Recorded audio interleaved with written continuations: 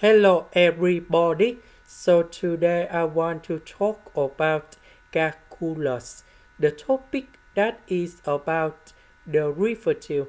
So now I want to show you how to answer. So if we want to find second derivative, we need to find first derivative of this one. And now we have like this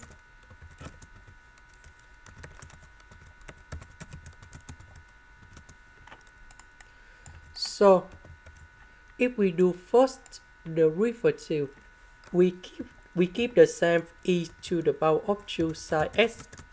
Later that we need to do first the derivative of 2 sine s.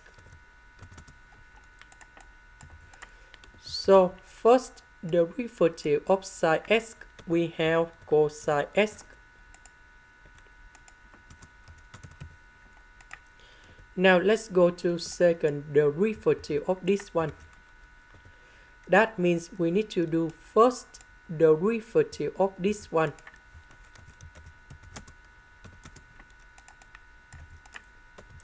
So in this situation, we need to do first derivative of e to the power of 2 sine s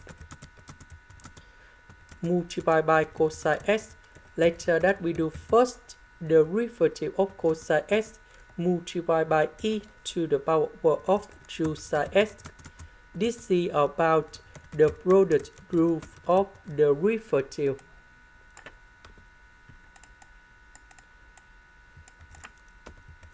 So this one in here, that is about 2 cosine s e to the power of 2 sine s this one we have negative sine s.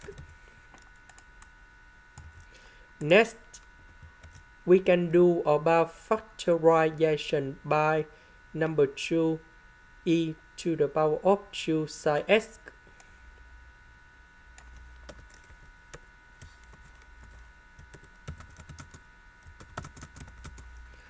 So 2 cosine s cosine s we can put like this. Minus sine s this is the end. Thank you for watching